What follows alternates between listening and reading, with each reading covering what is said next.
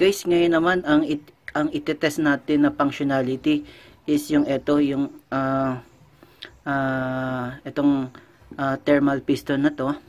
So, minsan kasi hindi natin uh, napapansin, hindi na pala ito gumagana. Or, or yung spring na yan naka-stack sa ating choke plate. Ayan, dito yung, nandito yung choke. Ngayon, ang ginagawa niya, pag mainit, uh, nagbibigay siya ng extra tension dito.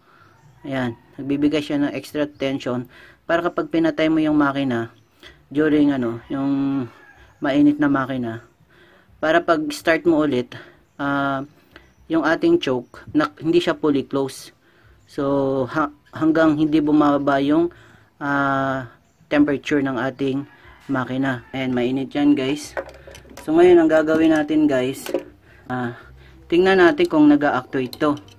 So, ngayon, ito, hindi to nakalapat. Yan. Itong screw natin. Yan. So, ngayon, hindi yan, hindi natin yan ilalapat muna. Ayan. Para tingnan lang natin. So, magkakaroon lang tayo ng marking somewhere dito. Ayan. Ayan. Tingnan lang natin guys kung gumagana yung ating thermal piston. Ito, unti-unti itong umaakyat. Ayan mainit pa to kasi nasa mga 72 uh, degree Celsius lang yung uh, mainit na tubig. So magpupush pa yan dito. Ayan. So ibig sabihin gumagana to. So ang i-check natin is yung spring kung hindi ba stuck. Itong spring na yan. Kung hindi ba stuck.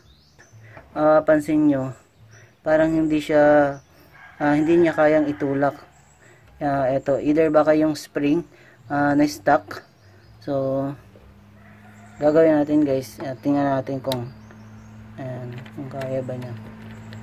Ayan.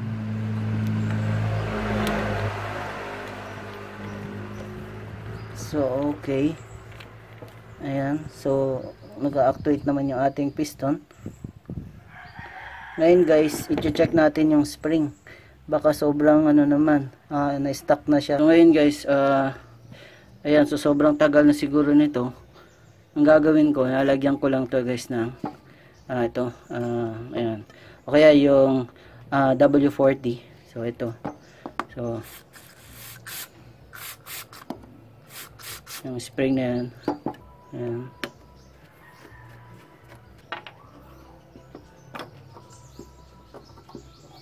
Yan, yan, yung dito.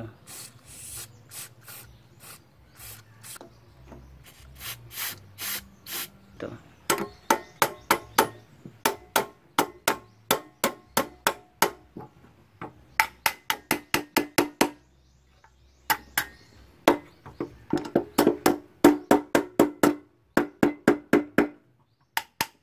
Para lang Ayan guys, oh.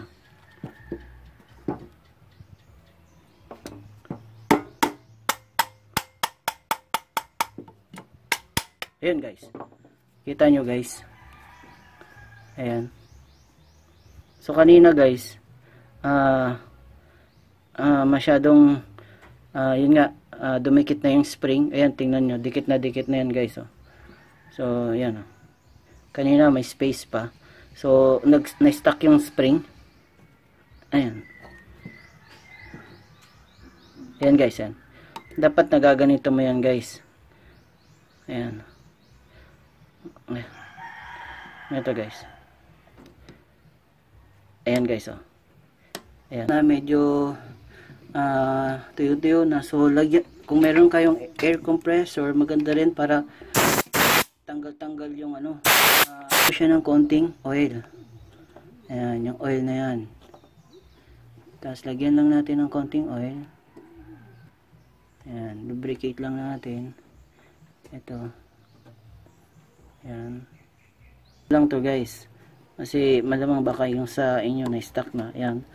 Dapat medyo malambot-lambot siya para naman hindi hirap itong piston na yan na itulak itong part na yan. Ayan. Ayan. Pag matigas guys, yun, stuck na yung spring niya.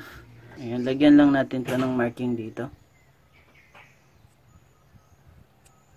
Ayan. Yan yung ating initial marking. Ayan guys. Then dito, lagyan din natin kung nag-move ba siya. So, ito. Itong marking yan. Yan. Yung iba guys, hindi nila to napapansin na hindi na gumagana yung kanilang piston. Tsaka stuck na yung spring nila. So, kaya normally kasi guys, pag mainit pa yung makina natin at pinastart natin, dapat hindi fully close yung choke. Para hindi aksayado sa gasolina. Kasi pag naka-close yung choke, uh, restrict, naka-restrict yung uh, flow ng air papunta dun sa ating carburetor. Siya, aso nga lang, uh, maiksi lang yung travel niya maybe because hindi siya hindi yung yung tubig natin uh, hindi siya ganun ka, kainit. So nasa nag-drop na siguro to ng uh, from 80 degree uh, to 75 degree.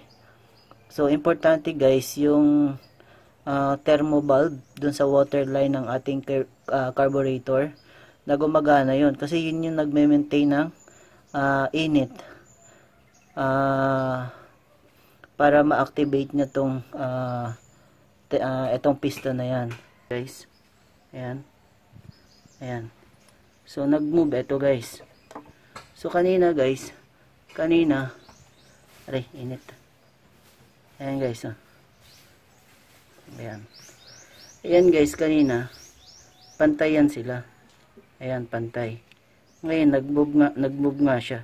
Ito nag-move So, diyan mo makikita guys na gumagana itong ating uh, itong mechanism na to para makontrol makontrol niya yung uh, ating choke.